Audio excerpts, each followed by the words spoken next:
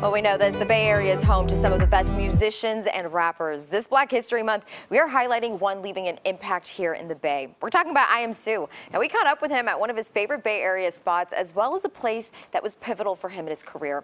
He tells us about a special person who, like him, has also left a lasting impact in the Bay. I just love to make music and just that feeling is almost like discovering something every time. Hey, hey, hey. I'm back in the city, it's time to get busy. I came out the ugly, it was never pretty. His lyrics, his beats. You may recognize them, especially if you grew up in the Bay Area. We caught up with rapper Iamsu. Born and raised in the East Bay, he's got deep roots here. Number one is I think we all got the belief that we could do everything ourselves. He's been in the game for years. Um, independence, I think that's like the number one thing with Bay Area artists, and I think that's our biggest strength.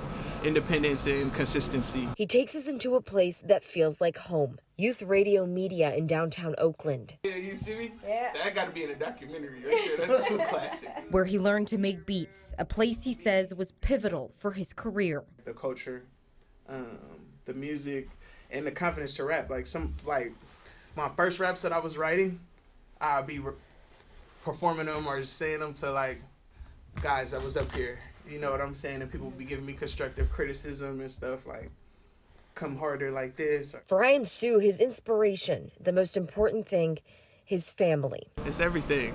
It's everything. It's the reason why I do it, and um, it's motivation, permanent motivation. What people may not know, though, his grandfather is James Andrew Harris, the first African American to be credited in the discovery of an element on the periodic table. He helped discover elements 104 and 105 at the Lawrence Berkeley National Laboratory. He was the first celebrity in the family going around and doing speaking engagements. A father figure for him. He says he was about 12 when he passed, but his grandfather's voice, his advice, he carries with him every day. He had a phrase called PIT, is an acronym, uh, Patience, Intelligence, Time, and I repeat that to myself all the time.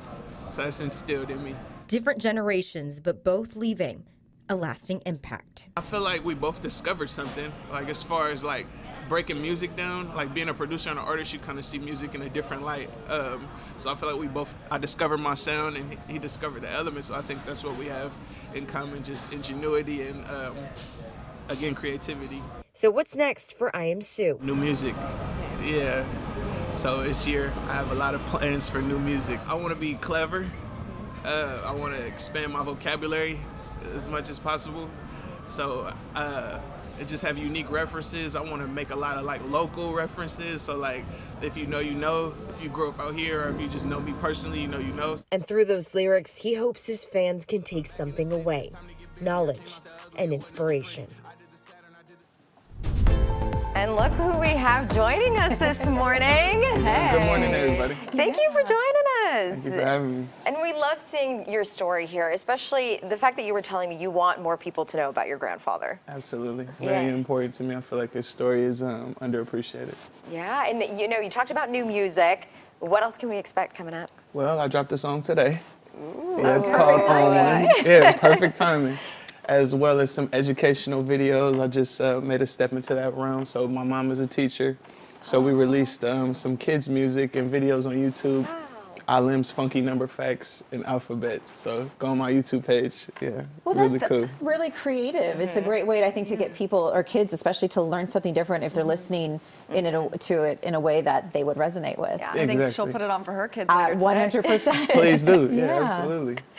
Well, we got the morning mix, and you're going to be staying here with us. Can't wait to do Yes. it. yeah, in fact, let's kick off right here with the first story. And this is maybe something that I don't know if you saw the Grammys this year, but they mm-hmm. had this great hip hop tribute 50 Yeah. years of hip hop. So it's been talked a lot about on social media about this particular list. Since we're celebrating 50 years of hip hop, Billboard came out with their version of their 50 greatest rappers of all time. So here are the top 10. So at number 10, it's Nicki Minaj. Number nine is Snoop Dogg.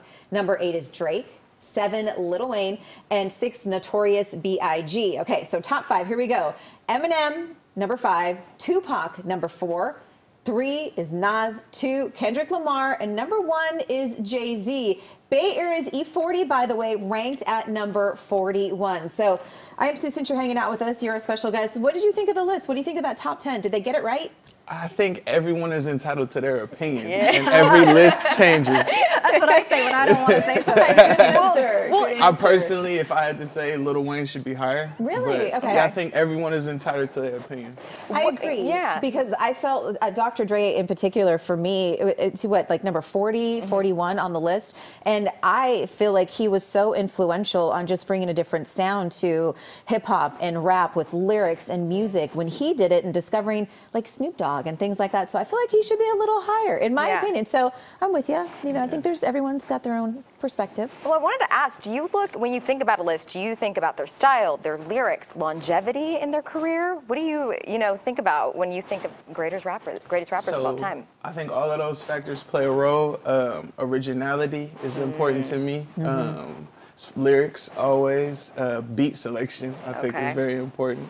So I think it's a lot of things that play into being a top rapper. Yeah. Well, being from the Bay Area, I think E40 should have been higher. Right. Yeah. Maybe we're a little biased though.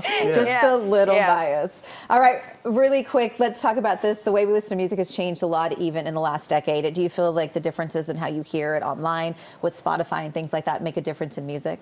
Absolutely, and it's um, way quicker. Yeah. So many songs come out every day.